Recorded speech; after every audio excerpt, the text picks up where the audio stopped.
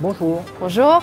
So we're at Frenchy's Cafe in Mosman. Um, we are open 7.30 till 5, seven days a week. We do breakfast, lunch and afternoon tea. We serve wine with our beautiful goat's stew salads and other things on our menu. Come on in and try us.